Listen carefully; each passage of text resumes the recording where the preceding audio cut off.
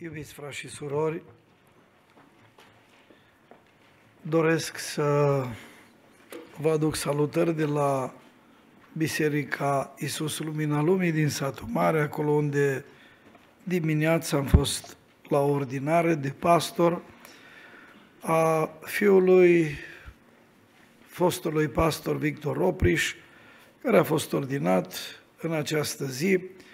Frații de acolo au transmis salutări bisericii noastre, am dus și eu salutările Bisericii Betel din Sighet, Harul, pacea Domnului Isus, să ne fie înmulțite.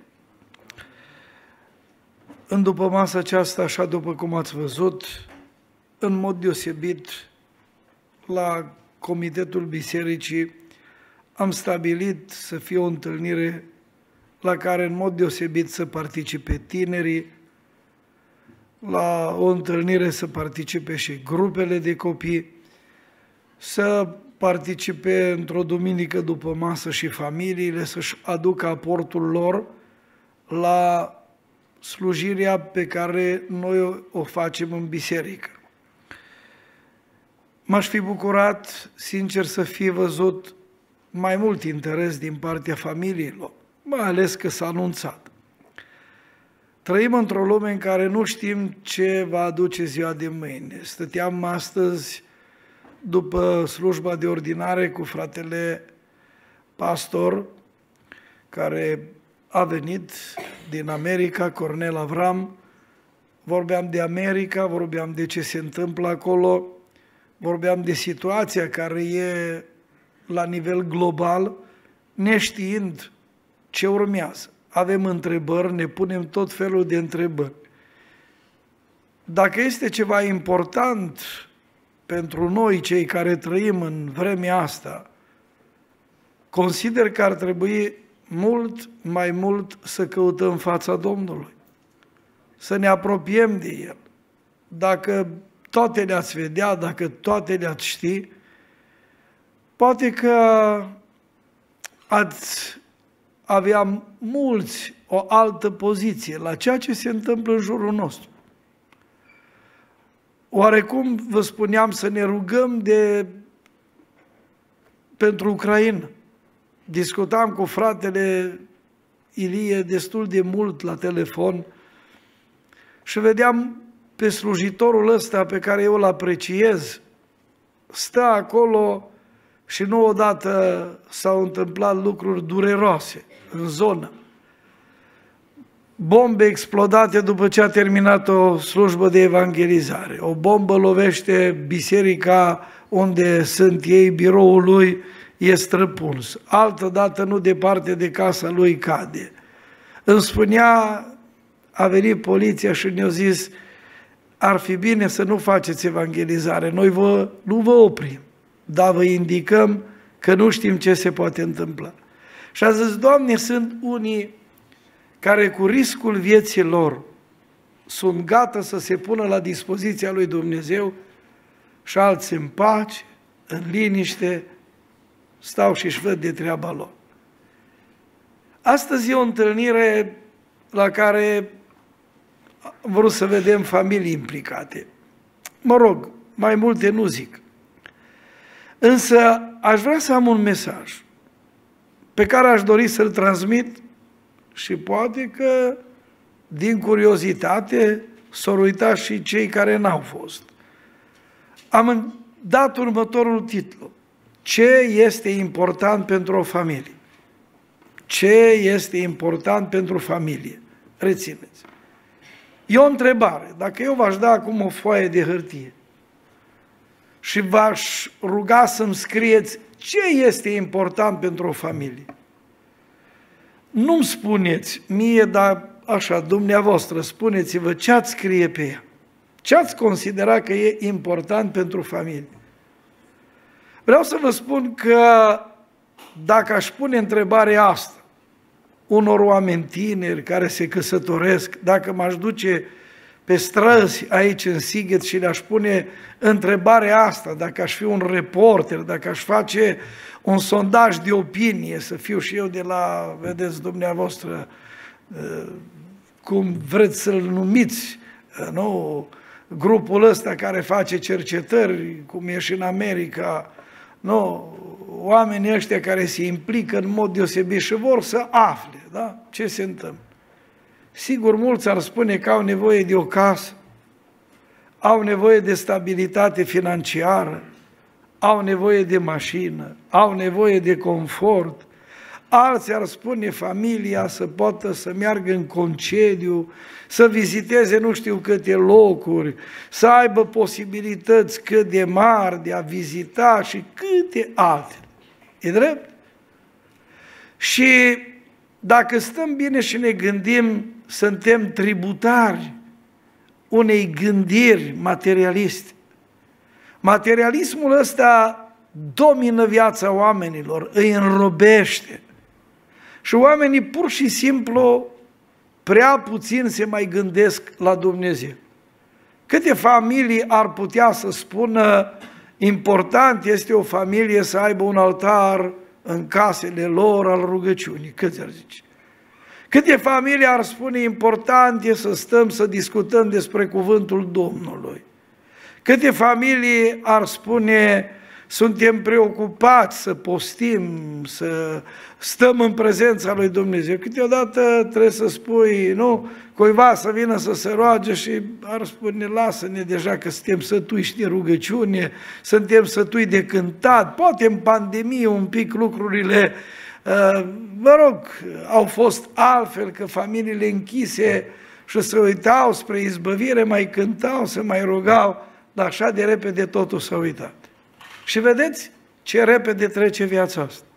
Se poate termina oricând, te duci din lumea asta și problema cea mai mare care se pune este unde te duci și care va fi destinația ta. O să vă sugerez câteva lucruri pe care eu le consider importante, nu eu, Biblia. Primul lucru pe care eu aș vrea să-l spun la întrebarea asta să fie răspuns. Ce este important pentru o familie, aș spune familia să înțeleagă că originea ei este în Dumnezeu. A amintit fratele Alex pasajul acesta din Efeseni. Eu o să-l citesc, Efeseni, capitolul 3, de la versetul 14. Iată de ce zic, îmi plec genunchi înaintea Tatălui Domnului nostru Iisus Hristos din care își trage numele orice familie în ceruri și pe pământ. Primul lucru important pentru o familie e să înțeleagă că își trage originea în, din Dumnezeu. Că originea ei, dacă vreți, este în Dumnezeu. Familia a fost întemeiată de Dumnezeu, n-a fost ideea omului de a întemeia familie. Adam a fost un om perfect un om căruia Dumnezeu i-a dat capacități nelimitate. A putut să facă multe lucruri, să dea nume la viețuitoare, să facă fel și fel de lucruri. Însă Adam se plimba prin grădina Edenului și mă gândesc că s-o fi gândit de multe ori că el e singur. Și Dumnezeu Sfântul intervine și spune în Geneza 2 cu 18, că nu e bine ca omul să fie singur. Am să-i fac un ajutor potrivit pentru el. Și l-a făcut. Și de aici, vedeți dumneavoastră, începe familia. Țin minte, citeam cândva cuvintele unui om, Jacques Rousseau, care spunea că familia este cea mai veche dintre toate societățile și auziți ce spunea el? Și singura naturală, auziți? Și singura naturală. Apoi vreau să vă spun că de-a lungul secolelor, de-a lungul mileniilor, de când e aici pe pământ, ă, trăiesc oameni, de când avem civilizații, fără familie nu s-ar fi făcut nimic. Și vai, Doamne, câtă luptă este împotriva familiei în zilele noastre. Uitați-vă câte puteri demonice se dezlănțuie asupra familiei să o distrugă, fie prin divorț, fie prin căsătorii de probă, fie că unii stau în concubinaj, fie că alții, mă rog, merg, vin și fiecare mai apoi își vede de treabă. Toate astea le putem vedea ca atacuri la ceea ce Dumnezeu a conceput. Fără familie n-ar fi existat nu, o civilizație, n-ar fi fost atâtea civilizații.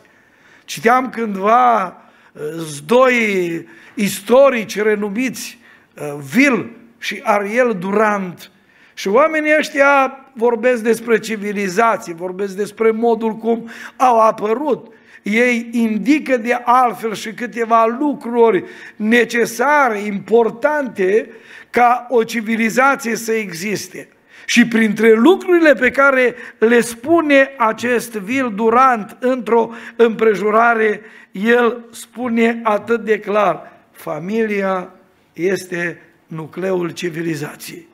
Fără familie n-ar fi existat civilizație. Fără familie n-ar fi existat oameni, nu am fi putut vedea, nu? crescând populația și așa mai departe. Chiar uh, astăzi m-am uitat așa puțin peste o știre că românii nu mai vor să facă și ei copii. Și natalitatea în România este într-un mare, mare pericol. Eram la o conferință a slujitorilor din Cluj, mă rog, pe la finalul lunii aprilie și era acolo un om care, mă rog, reprezenta o asociație pro-vită, pro-viață și va fi un marș în Cluj și ne spunea uh, acest om că se întâmplă ceva foarte interesant. Câți oameni sunt, câți copii sunt avortați în zilele noastre. Câți copii nu mai văd lumina zilei. Ne-a spus, uh, ne-a prezentat o statistică că numai la nivelul anului 1990, deci după Revoluție, un milion de copii au fost avortați. Vă dați seama și noi spunem populația România a scăzut și câte altele și toate astea le vedem. Vedeți? Familia din zilele noastre e atacată pe toate planurile. A fost o activistă, nu-i dau numele, și ea spunea din asta cu LGBTQ, știți dumneavoastră? Și asta a spus ea uh, despre familie. Și auziți cum uh, spunea această femeie, ce vroia ea în mod deosebit. Zice așa, legalizăm căsătoria homosexuală ca să distrugem familia naturală. Auziți? Ceva a spus negru pe alb m-a cutremurat lucrul ăsta. Și am zis, vedeți, tot felul de metode, tot felul de lucruri, tot felul de atacuri asupra familiei ca ea să nu existe. Pentru o familie, lucrul important pe care ea trebuie să-l știe este că ea și are originea în Dumnezeu. Doamne, ajută-ne la aceasta. Și când ea înțelege că își are originea în Dumnezeu, atunci ea trebuie să ține cont de ce spune Dumnezeu. Atunci ea trebuie familia să se raporteze corect la Dumnezeu. Când înțelege acest lucru, dacă nu-l înțelege, atunci familia aceea nu va ține cont absolut de nimic și va trece prin tot felul de procese, ceea ce vedem în zilele noastre. Doresc ca Dumnezeu să binecuvânteze toate familiile bisericii noastre și toate să înțeleagă că originea lor este în Dumnezeu. Și dacă vor înțelege asta, vor căuta să se apropie tot mai mult de Dumnezeu. Amin? Acum uitați-vă la al doilea lucru.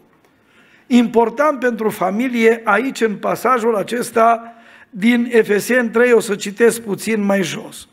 Din care își trage numele orice familie în ceruri și pe pământ, versetul 15, 16 și îl rog ca potrivit cu bogăția slavei sale să vă facă să vă întăriți în putere prin Duhul lui în omul dinăuntru, așa încât Hristos să locuiască în inimile voastre prin credință, pentru că având rădăcina și temelia pusă în dragoste, să puteți pricepe împreună cu toți sfinții, care este lărgimea, lungimea, adâncimea și înălțimea și să cunoașteți dragostea lui Hristos, care întrece orice cunoștință, ca să ajungeți plin de toată plinătatea lui Dumnezeu. Un al doilea lucru important pentru o familie este familia să dorească ca în sânul ei să locuiască Hristos.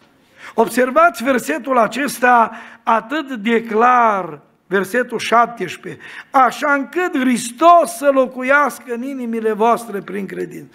Știți cât de important este ca în sânul familiei să locuiască Hristos. Să fie El stăpân, să fie El domn.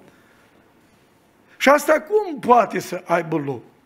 Noi am vrea pe Iisus în anumite situații, când trecem prin crize, când ne confruntăm cu probleme materiale, financiare, probleme de boală, când uh, sunt probleme cu copiii, când câte altele, atunci, Doamne Iisuse, vină și ajută. E bine, ne rugăm și atunci. Dar dacă familia ar înțelege că mai presus de toate, ei au nevoie, Iisus nu să fie doar un oaspete. Nu să vină doar așa din când în când, ci familia să fie locuită de Hristos, adică El să fie în centrul atenției. Iisus să fie Cel căruia să îi se închine, să laude, să-L onoreze. Cum înțelegeți dumneavoastră pasajul acela din Coloseni, capitolul 3, și uitați-vă bine la versetul 16, care spune, cuvântul lui Hristos să locuiască din belșug în voi în toată înțelepciune. Învățați-vă și sfătuiți-vă unii pe alții cu psalmi, cu cântări de laudă și cu cântări dovnicești, cântând lui Dumnezeu cu mulțumire în inima voastră. Noi auzit. Să locuiască, nu? Și unii vor zice, ă, slavă Domnului, noi locuiește Hristos. Atâtea Biblie avem în fiecare cameră și mai mari și mai mici, nu? Dar poate prăfuite, poate n-au mai fost deschise, poate n-a mai citit nimeni din ea, cine știe de câte vreme, nu? E, dar observați, când uh, o familie dorește să locuiască Hristos în sânul ei, acea familie va fi preocupată de cuvântul lui Hristos. Va fi preocupată de a aduce laudă lui Hristos, nu? Să onoreze pe Hristos prin viața și prin trăirea lor. Ce ziceți? Câte familii din zilele noastre mai doresc cu adevărat ca Isus să locuiască în sânul lor? Îți mulți? Tot mai puțin. Tot mai puțin. Vor oamenii așa un Isus, așa, în diferite situații, doar cu anumite ocazii. Însă, vedeți, viața unui creștin adevărat, viața unei familii, trebuie să depindă în totalitate de Hristos. Asta însemnează cei care cu adevărat îl doresc pe Iisus să se raporteze la acest cuvânt al Lui, care să locuiască din belșug în viețile lor. Și când cuvântul lui Hristos locuiește din belșug într-o casă, atunci familia aceea va fi condusă, vedeți, de acest cuvânt al lui Isus și Isus se va bucura de acea familie și simțită va fi prezența lui acolo. Familia aceea, așa cum spune aici, va cunoaște dragostea lui Hristos. Și când cunoaște dragostea lui Hristos, acea dragoste îi va ține uniți pe cei doi soți, părinți de copii, copii de părinți, pentru că așa spune aici, dragostea lui Hristos, nu? Mai presus, uitați-vă la versetul 14 din Coloseni 3, cuvântul lui Hristos spune într-un mod clar, mai presus de toate acestea, îmbrăcați-vă cu dragostea care este legătura de săvârșire. Auziți dumneavoastră? Ei, și dragostea asta care ține unită o căsnicie, o familie, nu poate fi decât acea dragoste despre care citeam în Efeseni, să puteți cunoaște dragostea lui Hristos. Când e, Iisus locuiește într-o familie, atunci acea familie va cunoaște acea dragoste și asta îi va ține uniți și îi va face să rămână împreună. Cândva titanul ăsta al literaturii ruse și universale, Lev Tolstoi, ridica următoarea întrebare. Cine îi ține pe oameni în viață? Și răspunsul lui era iubirea. Iubirea. Sau un scriitor francez, Victor Hugo, spunea, viața fără iubire este un mecanism sfârșietor, scârțăietor și greu.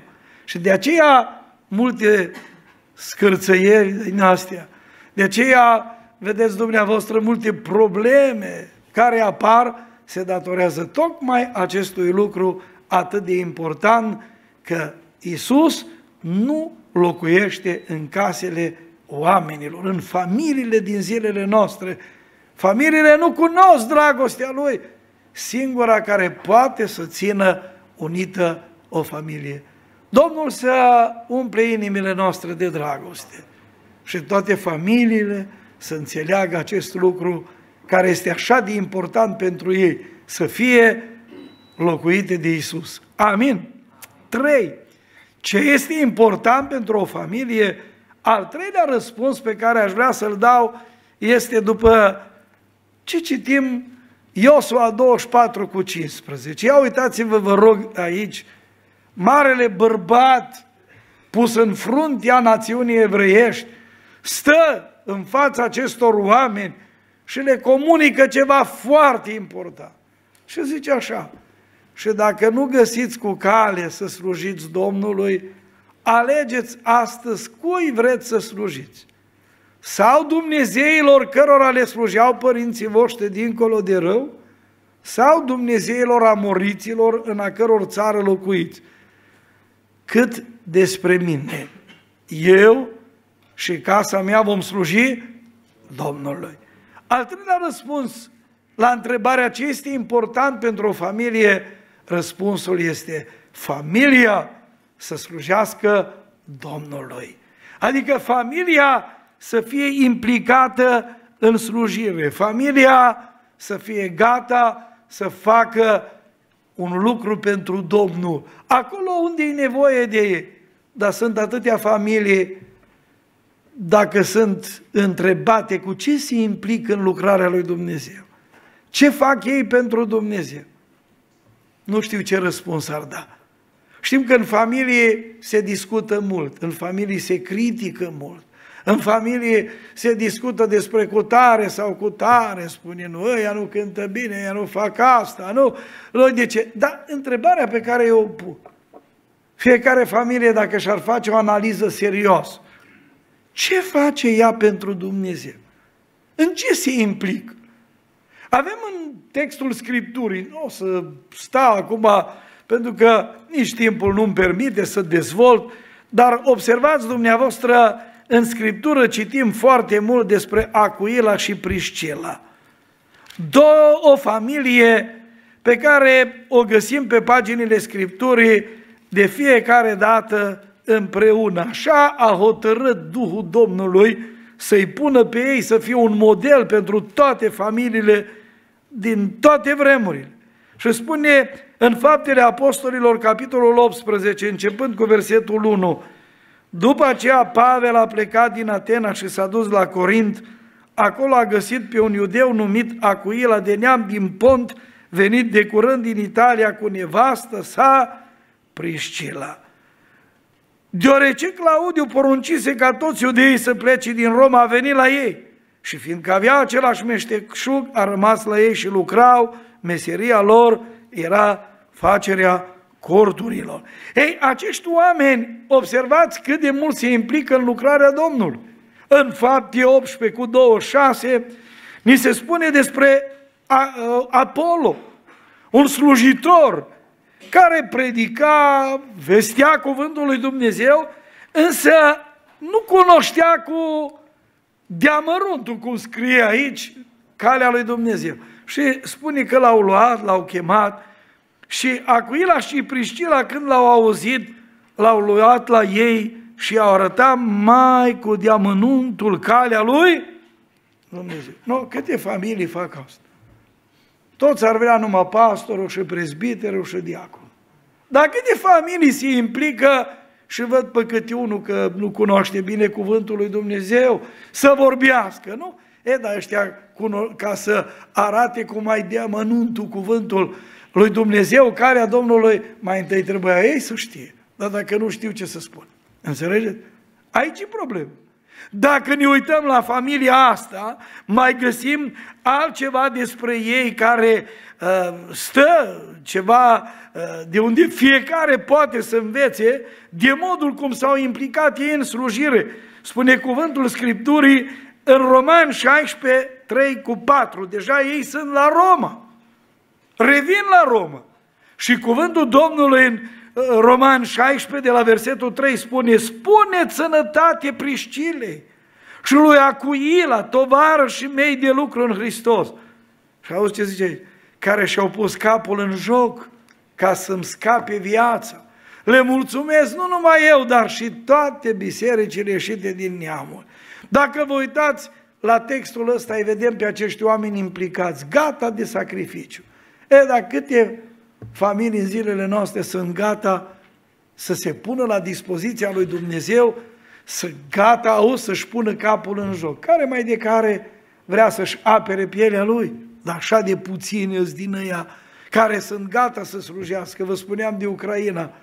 Am văzut oameni care s-au pus la dispoziția Domnului, fratele Grigore și alții de aici, care au fost la Lvov, am mers acolo, era acolo un alt frate, episcop, care răspunde de regiunea asta, Lvovului, cu soția lui, stăteau acolo și făceau porții din acelea de mâncare. Ei având, nu știu, vreo nouă copii, vreo doi i-au murit și și-au lăsat copiii cu ceilalți și ei amândoi stăteau și făceau de mâncare, mai ales când veneau trenurile alea cu refugiați. Nu o să-l uit când s-a pus așa în biserică, am intrat după ce s-au descărcat, microbuzele s-a pus acolo jos și a început să ne povestească. Așa îi vedeai lacrimile cum îi curgeau și spunea el că face lucrarea asta și-a lăsat altele și soția lui și alții și ne povestea când mergeau și împărțeau acele, dacă vreți, sandvișuri și le dădeau copiilor și spunea el, și atunci vedeam așa cum îi curgeau lacrimile, ce luau copiii ăia, refugiaților care veneau și mai întâi sărutau, zice, acel sandwich și după aceea începeau să mănânce. Nor, așa am zis, uite, sunt oameni care sunt gata să se pună la dispoziția lui Dumnezeu. Câți oameni sunt gata în zilele noastre de sacrificiu să slujească Domnului? Domnul să binecuvânteze toate familiile din biserica noastră și să fie gata să se pună în slujba Domnului. Slujirea va fi într-o bună zi răsplătită. Chiar dacă aici poate nimeni nu-ți va răsplăti, dar Domnul Iisus spunea în Evanghelia după Ioan, capitolul 12, versetul 26, dacă îmi slujește cineva, să mă urmeze și unde sunt eu, acolo va fi și slujitorul meu. Dacă îmi slujește cineva, Tatăl îl va cinsti. Toți se bucură aici când îi cinstește cineva și primește o diplomă de onoare. Când uh, poate devine cineva cetățean al orașului sau al comunei, nu? Sau directorul îl evidențiază și îi dă o diplomă, ce mândru îi. Că l-o cinstit, înțelegeți? Dar ia gândiți-vă în ziua aia măreață, când Tatăl din ceruri își va cinsti slujitorii, atunci merită să-L slujim pe El?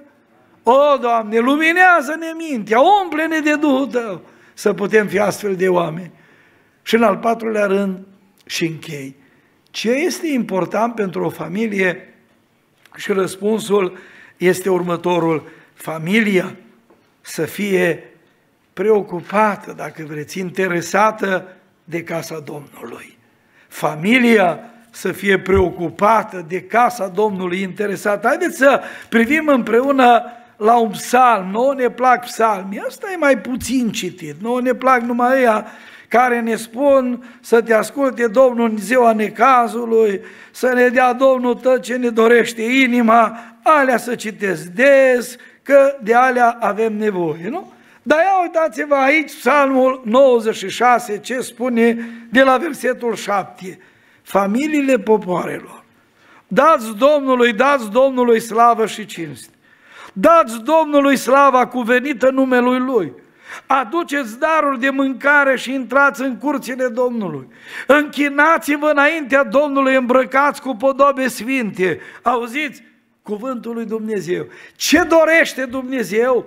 Ca oamenii credincioși, familia, aici spune familiile poporelor, să fie preocupate de casa Domnului. Adică ce înseamnă asta? În versetul 9, să vină înaintea Domnului, nu? Închinați-vă, nu te poți închina dacă nu vii. Nu, cât ar fi trebuit? Și puteau să vină să se închine. Dar lăsăm închinarea la o parte, nu? Să dea cinste Domnului, să-L cinstească pe Dumnezeu. Spune versetul 8, să aducă daruri de mâncare, intrați în curțile Lui. Și dacă altă dată veneau ăștia cu jertfe, observați, Biblia spune că o cântare face mai mult decât un vițel cu coarne și copietină. Dar noi toate astea le-am vrea. Dar dacă nu mai le facem, nu le facem, e o problemă. Și în mod deosebit să aducă închinare Marelui Stăpân, scumpii mei. Mă apropii să închei. Însă mă rog lui Dumnezeu ca El să trezească biserica și familiile din Sighet. Dumnezeu să aducă multă, multă lumină în fiecare familie. Și vreau să vă spun că dacă tata și mama nu sunt interesați de casa Domnului și poate să plimbă acum până la grădina mori, poate stau la televizor, poate știu eu de ce or face copiilor? Știți cum uh, a început progre- uh, uh, să se destrame multe biserici și vedem acum biserici goale prin Occident. Confortul. Viața asta de lux, de plimbat, de... pentru trupul ăsta, i-au făcut pe mulți așa încetul cu încetul să nu vină. Au venit generația care au văzut părinții, că ei calcă, se spune aici, ce văd la noi. Și ei ori merge și mai puțin, dacă sunt familii de aici și în Sighet care poate numai duminică dimineață vin, și dacă vin, și aia din când în când, și marți nu-i vezi, și joi nu-i vezi, și duminică după masă nu-i vezi, următoarea generație ce Dacă ei au făcut așa, ei cum or fi? Nu ar veni nici atât, înțelegeți? Și toate astea, vedeți, aduc o influență asupra celor din jur. Dumnezeu să binecuvânteze familiile din Sighet. Dumnezeu să binecuvânteze toate familiile. Și cei care vor mai asculta mesajul Domnului. Ce este important pentru familie? Mai întâi de toate, familia să înțeleagă că originea ei este în Dumnezeu. Amin. În al doilea rând, familia să dorească ca în sânul ei să locuiască Hristos. Doamne ajută! În al treilea rând, ce este important pentru familie, familia să slujească lui Dumnezeu. Amin. Și în al patrulea rând, ce e important pentru familie, familia să fie preocupată de casa Domnului. Astea sunt importante. Restul toate strecătoare. În urma acestor lucruri, dacă le vom acorda importanță, vom vedea binecuvântările Domnului. Doamne ajută! Haideți să ne ridicăm. Ne vom ruga în rugăciunea asta pentru toate familiile, cele care sunt aici. În biserica noastră am avut o întâlnire seară cu câte familii au fost și am înțeles că se vor ruga în timpul săptămânii așa pentru câte o familie și aș vrea să continue asta. Am văzut în atâtea biserici, chiar vorbeam aseară cu fratele Todoran și am zis că poate în fiecare duminică, dacă se va lua pe rând câte o familie în duminica următoare, bună oră cum va fi duminica asta, familia aceea să fie invitată în față, să o cunoscă și așa o să o cunoaște mai bine și frații, familia, soț, soție cu copiii și toată familia să se roage pentru ei. Și așa vom pune în câte o săptămână și dorim ca harul Domnului să se reverse peste familiile noastre. Dacă sunt familii bune și biserica e bună, dacă familiile sunt puternice și biserica e puternică, și mă rog Domnului ca El să se îndure de toate familiile. Amin. Vom intra în această rugăciune, ne vom ruga.